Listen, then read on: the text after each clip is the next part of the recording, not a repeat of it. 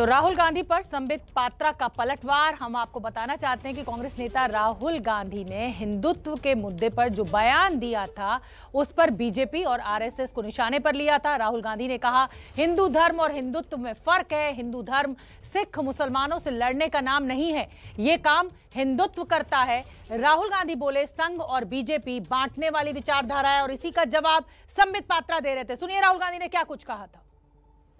BJP Hindutva की बात करती है।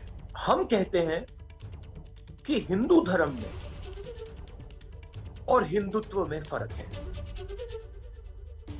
क्योंकि अगर फ़र्क नहीं होता तो नाम एक ही होता।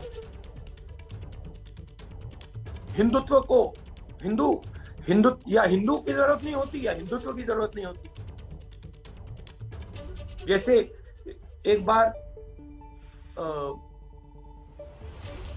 चाइना के कोई लोग नेता आए थे, मैंने उनसे पूछा, आप कहते हो कि आप कम्युनिस्ट हो? और फिर आप कहते हो कि आप कम्युनिस्ट विद चाइनीज़ कैरेक्टरिस्टिक्स हो। तो आप मुझे ये बता दो, आप कम्युनिस्ट हो या आपके पास चाइनीज़ कैरेक्टरिस्टिक्स हैं? दोनों तो हो नहीं सकते। क्योंकि अगर आप कम्युनिस्ट हो तो फिर आपको कम्युनिस्ट ही कहलाना चाहिए। तो मुस्कुराने लगे। तो यही सिंपल सी लॉजिक है। अगर आप हिंदू हो तो हिंदुत्व की क्या ज़रूरत ये ये नए नए नाम की क्या ज़रूरत